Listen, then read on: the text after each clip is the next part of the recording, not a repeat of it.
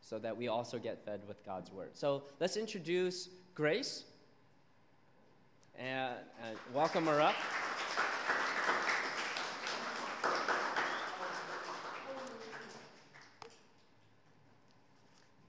Hi, everybody. Um, I'm Grace, and uh, this is going to be my camping trip testimony. So, the camping trip was this past Monday through Wednesday, and even though it was pretty short, it was very refreshing and eye opening. From about a week before the trip, I was already preparing my heart and looking forward to the trip. Uh, but the Sunday service after the Sunday after the Sunday service before the day we left, um, I had a bad asthma flare up, and I let PD know that I wasn't going to make it.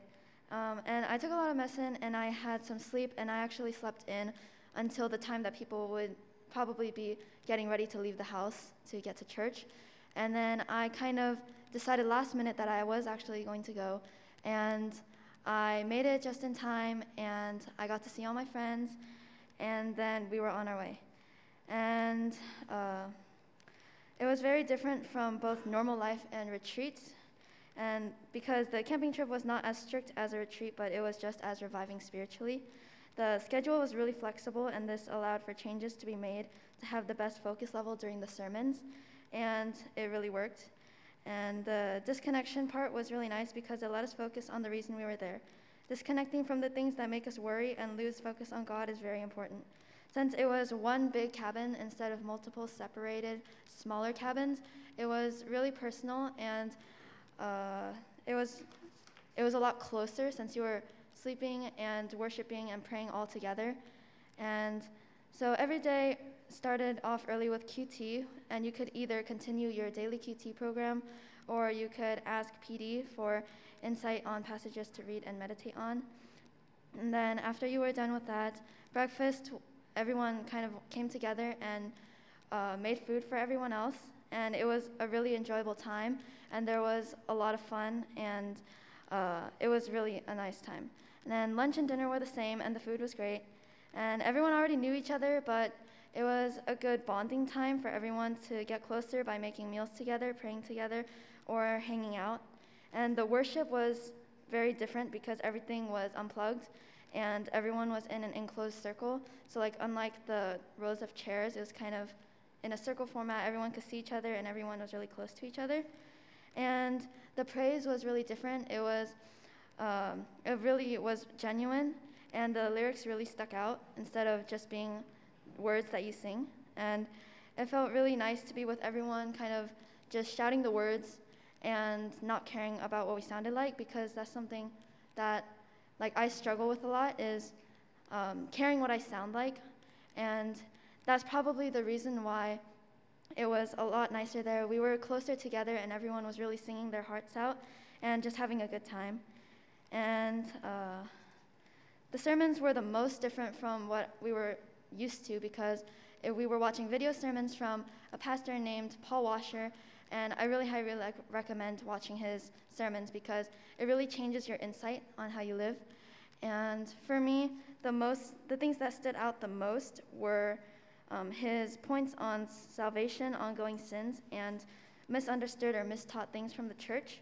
And he focused on important things such as the fact that just because you prayed the prayer once or twice doesn't mean that you're saved if you keep living in your sins and ignoring what God has given you. And he also focused on the shortcomings of American Christianity and also the worldliness of Christians. And the sermons gave a different insight on Christianity and faith that I hadn't really thought about before, so it was really interesting. And bi- building a close community was, I think, a really big part of the trip and it was really easy and really relaxed. And um, there were a lot of close moments shared, uh, both fun and deep. There was uh, the weird stories of what the seventh grade guys did instead of sleeping, and there was Minu's kissing noises, and um, there was the late night. You wanna? Okay. um, there was the late night singing sessions, and there was uh, Mafia, but there was also like the really sad but hopeful prayers for the seniors' graduations.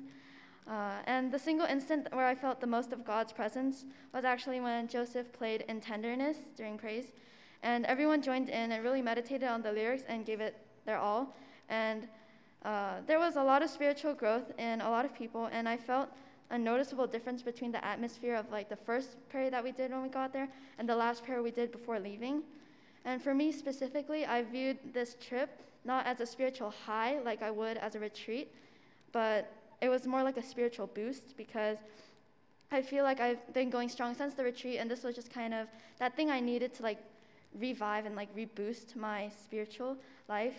And it was just really great. Through all the praise, sermons, and bonding, everyone definitely grew closer to God and to each other in a natural and unforced environment without the distraction of media, siblings, schoolwork, or anything that could keep your focus away from God.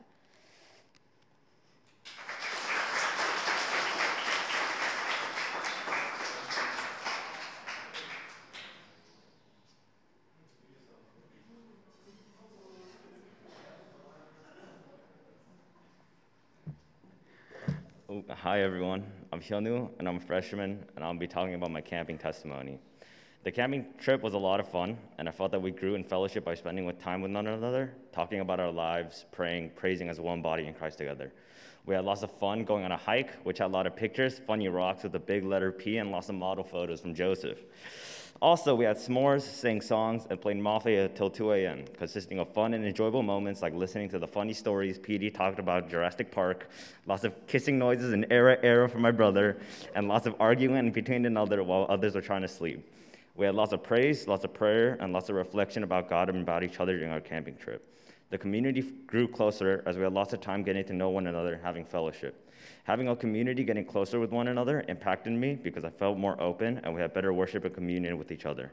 During the time, I learned many things about God from a pastor named Paul Washer, which I highly recommend because he shares good information about Christian faith and his sermons are very informational. And hopefully you did as well. He talked about the different perspectives of faith and what it really means to be a Christian.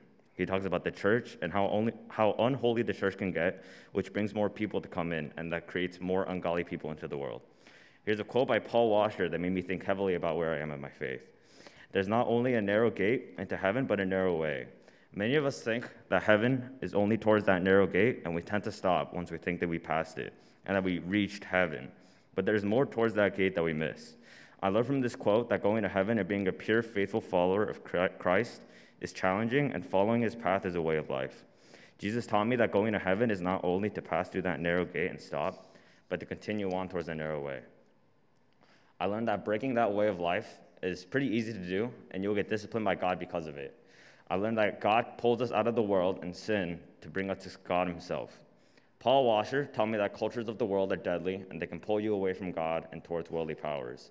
I learned that holiness is a separation from the world and to get closer towards God and have godly ways, and we should separate ourselves to be more like Christ.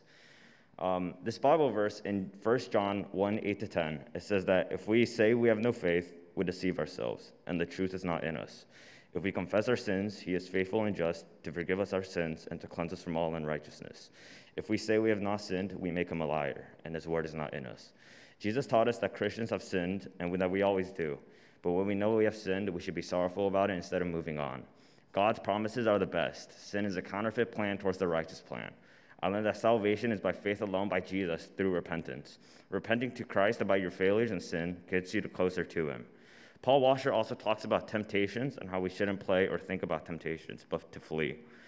Uh, after the camping trip, my connection between me and Jesus became pure, as I saw that sin blinded me and I should have more godly ways.